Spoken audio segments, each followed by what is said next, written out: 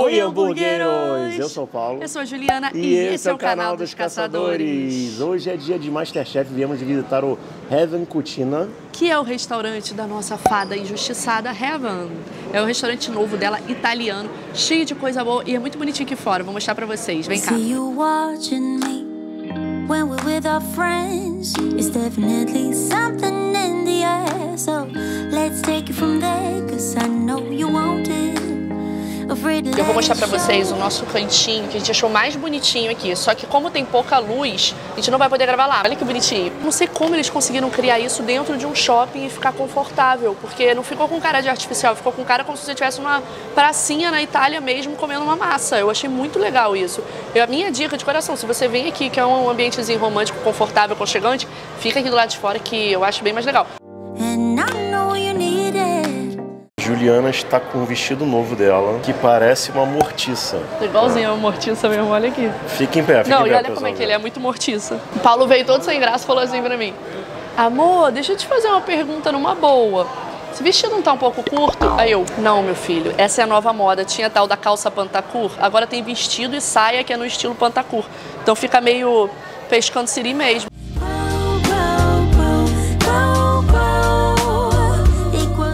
Nossa, a gente amou, amor. Olha quem apareceu aqui. Aqui, uma surpresa. E a gente acabou de falar, meu Deus, a gente chegou no restaurante da nossa fada. E você vê assim, não é nossa fada, essa fada é, é fada.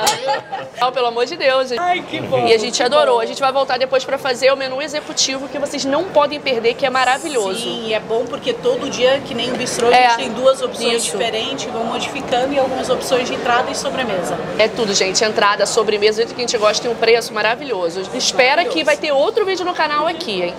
Obrigada, tá? Muito, muito obrigada. Estamos aqui no Heaven Cucina, que é o restaurante italiano da Heaven, que foi uma das concorrentes ao Masterchef profissionais. E a gente já visitou antes o Chez Heaven, que é o restaurante francês dela, e a gente gostou muito. Vocês assistiram muito esse vídeo, então a gente resolveu vir conhecer o italiano também. Ela participou do nosso outro vídeo, né? Deu um oi, foi muito legal. É. Inclusive, todo mundo fala que a Heaven foi a fada mais injustiçada de todos os Masterchefs. É verdade. Porque ela participou dos Masterchef profissionais, todo mundo adorava ela, mas ela foi vice-campeã. E aí reclamaram muito dela não ter ganhado. Ela não é aquela chefe que só, só, bota o nome no restaurante, sabe? Sempre presente nos restaurantes dela. Quando você, a gente frequenta muito esse shopping, a gente vê ela dentro da cozinha, botando a mão na massa. Então, pra mim, já tem todo o meu respeito que é uma chefe de verdade. A gente pediu uma entrada, o nome dele é Coperto. Tudo que eu falar aqui, não sei se eu tô falando bonito, é tô porque os nomes legal. são todos em italiano, né? Então a gente pode estar tá falando italiano errado. Custa 15 reais. É um pão recheado com queijos, ricota, gema mole e flores. Eu Quem não que, gosta de gema é, mole, eles perguntam gosta, se você quer que traga tá? gema então mole ou não, perguntam. mas a gente adora, então eu amo. Quer, sim. Ai, gente, eu não pago 15 reais pra comer uma gema mole. Então você paga a dúzia da tua casa e faz ovo mexido. Sacanagem, tô brincando. Não, sacanagem não, é verdade. Deixa eu ver por dentro. Nossa, que lindo, vou mostrar pra vocês. Was holding you back now, sugar Cause I don't know, sure know you want tá saindo fumaça mesmo. Olha que lindo. Aqui, ó, vou abrir mais, ó. Isso aqui é a gema e os queijos, né, que estão derretidos aqui dentro, eu Uma delícia. Eu gosto tanto de gema mole que eu acho a gema muito curta pra você comer, aí come rápido. Tem é... pouca gema pra muita clara, é isso, É, né? entendeu? Então. Oba! Hum sente que o pão é, é feito na casa mesmo. Hum, que queijo delicioso. Hum, tem. É, eu pensei que fosse manjericão, mas em cima é como se fosse um. Eu não sei se tá certo falar assim, mas um pesto de espinafre. Parece um pesto, sim, mas não é sei de, se é de espinafre, mas tem é cara de, de espinafre. Pô, uma delícia. As outras entradas. Esse queijo gente... é o quê? É uma ricota, né? Ricota e tem outros queijos misturados. Deve ser parmesão. É uma entrada bem simples, existem outras mais desenvolvidas e mais caras também. Porém, a gente achou muito madura, sacanagem. a gente achou muito sofisticado, né? A gente gosta de coisas é, mais simples. não fazia muito nosso estilo, assim. Tinham coisas com vinho, figo, assim, a gente não... Eu, principalmente, não gosto muito. Hoje eu tô toda vestida de mortiça família Adams. Vocês já deram like, né? Porque se vocês não deram like, eu vou assombrar vocês na casa de cada um, hein? É melhor você não falar isso, não. Por quê? Vai ter um monte de taradinho aí que, que não vai dar like querendo que você visite eles de madrugada. Não, mas se você... Mesmo que seja uma assombração. Não, então peraí. Se você também é taradinho, também dá like aqui, porque os tarados também dão like. Enquanto eu falo, Paulo come o pãozinho todo. Ai, meu Deus do céu. Ah, vou deixar só a tampinha pra Juliana, porque o, o pão ele é aberto e aí ele tira um miolo pra Muito colocar bom. o recheio. Aí vem a tampinha do lado pra ficar bonitinho, entendeu? Então vou deixar a tampinha pra você. Obrigada a todos. O resto é meu, vou comer tudo, que eu gostei hum, muito. Delícia. A gente ia pedir dois pratos de frutos do mar, mas como tem muitas pessoas que não comem frutos do mar, a gente preferiu pedir uma carne. Porque aí eu acho que vai agradar mais a vocês que estão assistindo. Então, muitas vezes a gente tenta opções que vocês pediriam. Até porque a gente grava o vídeo pra vocês. Quem manda aqui no nosso canal são vocês. Inclusive, esse outro prato que a Juliana ia pedir está no menu executivo. Então, a gente, depois desse vídeo, a gente vai voltar aqui pra Outro fazer um dia, bancando é. fino, mostrando o menu executivo daqui e dizendo se vale a pena ou não. Pra você comer que... a flor comi a flor agora e lembrei, gente, como que coisa, as coisas mudaram na vida, né? Hum. Tinha uma novela na Globo que o nome da música era Flor no Cabelo, Flor no Chibio. Olha que coisa horrível. No Chibio? Tu não lembra disso, não? Era uma novela dessas de canta gado. Aí, canta aí, como é que era, era assim, flor no cabelo, flor no chibio. Assim, quer ver? Eu vou procurar flor na internet. Tô te falando, cara. Eu lembro que eu ficava cantando e a minha própria mãe falava assim pra gente, para com isso. Flor é... no chibio. Ó. Eu consigo até visualizar. Toda vez que eu cantava Flor no Chibio, você, devia, você que tua irmã devia ficar na sala assim. A gente é muito boa, baby, mãe. A gente ri tudo que é palhaçada. A gente não tem maturidade. Flor no cabelo. E é uma música da. Flor no Chibio. E é uma música da Nana Caymmi com Dorival Caymmi. É, não, Simone Caymmi. Horário nobre, galera flor com Flor no Chibio. Aí agora vem, ai, Obrigada. Eu aqui no restaurante chique falando essas besteiras. É, mas faz parte, né? Por isso que o nosso canal é um sucesso, sacanagem. Tu tá inspirada hoje, né?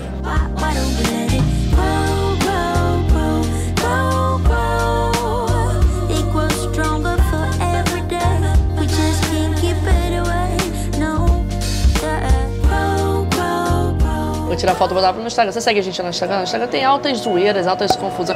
Ah, lá no Instagram eu pego muita dica de restaurante, das coisas ah, assim. Eu pego muita dica com vocês de onde vocês querem que a gente grave. Então não deixe de seguir a gente lá no Instagram, tá? Olha o tamanho disso. Ai meu Deus, tá quente, peraí. Eu pedi o gambeiro Gambeiro, gambeiro. É estranho falar isso, né? Então tá, eu pedi o camarão à carbonara. É, gambeiro, se não me engano, é camarão italiano. É, talvez. Talvez. Sim, não sei. Ele vem um crumble de grana padano. Hum. Os camarões são VM, a gente até já se falou sobre isso, né? Camarão VM é um pouco menor que o VG, o VG é o grande. Esse aqui é tipo médio pro grande, mas eles são bem enormes. É pra VM eu tô chamando ele grande. Porque imagina ele quando sem é. cozinhar, porque quando cozinha ele diminui, né? E sem aqui, cozinhar ele devia ser aqui, maior ainda. Aqui em cima tem um crisp que eu ainda vou descobrir do que que é. Um, algum verdinho, mas tá bem bonito. Bem aromatizado. Sacanagem, tá bem cheiroso. E tem uma gema de ovo caipira no meio. Você pode pedir a gema cozida ou não pedir gema, se for da sua preferência. Esse prato aqui custou 72 reais. E eu já estou de olho no teu prato. Agora, apesar do meu tá bonito. Apresente o seu, porque comer eu quero. É o costola de... costola de, de... Costola de bovino. Fala normal, vai. Você acha que ele tem que é... falar normal? Comenta aqui embaixo. Não, Fala eu normal. quero falar italiano. Deixa o nosso eu... público não gosta disso. Deixa eu falar meu italiano maluco. Você é fresco? Comenta pra mim se você for fresco. Fala, eu não sou fresco. Mas é engraçado você tentar falar uma língua que você não sabe falar. É bem, é, é bem coisa... tosco, sacanagem. então, meu, é o costola de bovino e fettuccine alfredo, tá? Então essa costela enorme com fettuccine alfredo do lado custa R$ 83,00, 500 gramas de costela e é assado por 16, 16 horas. horas. Assado por 16 horas. Então, é caro. Eu já tô comendo. É caro, mas eu acho que pelo trabalho, pelo tamanho, tá um preço ok.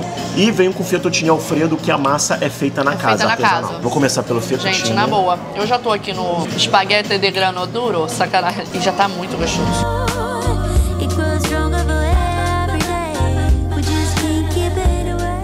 Negócio é tão bom que o camarão aqui, ele é só um detalhe na vida. Nem que comi ainda o camarão, mas assim, ele nem precisava de tão bom que é. E vem um molhinho Alfredo aqui se eu quiser é. colocar mais. Essa farofinha de grana padano é muito boa, gente. Costela muito macia, muito macia mesmo.